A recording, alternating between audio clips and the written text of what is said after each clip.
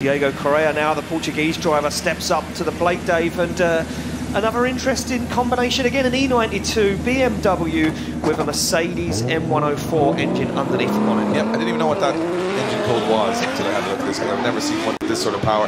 He's a crazy driver though, picked up a lot of experience last year, coming very aggressive into that first corner. You see a little bit of understeer, but he manages it.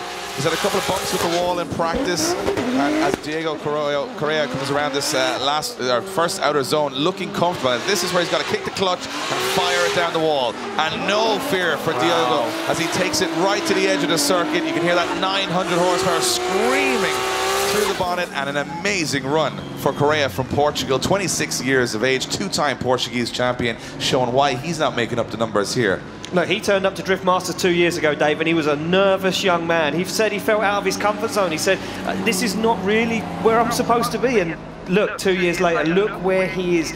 He's fighting in the championship. He's up there with the big names, and what a run. And he was absolutely flying in practice, and that has translated here into qualifying. Real commitment as he gets to the outside zone. You can see the way his driving style has progressed in the last two years. Correia completely fulfilling that outside zone, comes away from it perfectly timed just a little shallow on that transition, but makes it work because the way he gets to the wall gets that perfect arc. Yeah, you know, I've spoken to him a few times, and do you know what I've learned from speaking to him? Hasn't a word Portuguese. of English. Hasn't oh. a word of English, yeah. so, uh, but a really nice guy and a, an amazing run, an amazing run. So we wait for the score from the judges. He hits a 79, 79. So a couple of wobbles in there. You can see it coming out of the outer zone. Wasn't perfect, yeah. but I mean, I love the wall runs. I mean, yeah. that's what I'm here to see. That's what we're here for. That's yeah, what, that's, what, we, that's what we come for. Let's be honest. I think most of these guys need to be back to the start line we go, Dave. Yeah, and a, a guy that, I mean, he's been wowing me all weekend with his commitment. But his 79 in his first run is Diego Correia from Portugal.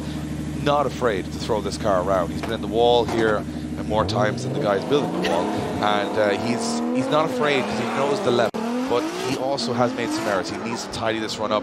Let's see if Diego Correia from Portugal can make a difference here as he throws into that first corner. Wow. Oh, he catches the curve, and he just made it work. See the front brake come on there just to tidy that run up. Incredible car control. Gets into the zone early, but drops out a little bit. He's got to get back to the outside of the circuit. Not perfect. Now he's got to attack those walls. He's got to make this work as he throws it down the line on the outer zone, just a little bit off throttle on the left foot, making sure he gets to the outside of the track. Good run from Correia from Portugal.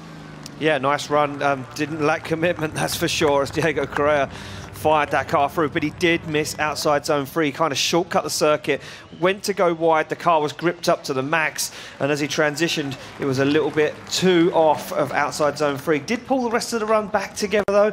Uh, yeah. He would have bled points, but will he get some points uh, in the back for that big initiation? Just, just, jumped up on the curb and slid the car, and then he put it. I'll tell you one thing, Kevin O'Connell here should give him some extra points because he did bring the weather with him to this weekend. He did, know? yeah. So he did. He's brought the sunshine with him. I think we should give him a couple of points for that because it's making the event so much more enjoyable. But he scores an 83, so an 83 for Diogo Correia from Portugal, and that is an improvement up into the 80s. I'm thinking that's around where we're at with most of the grid right now. So I think high 80s, 90s guaranteed, low 80s to high 70s. You're you're you're having a little look at what everyone else is doing.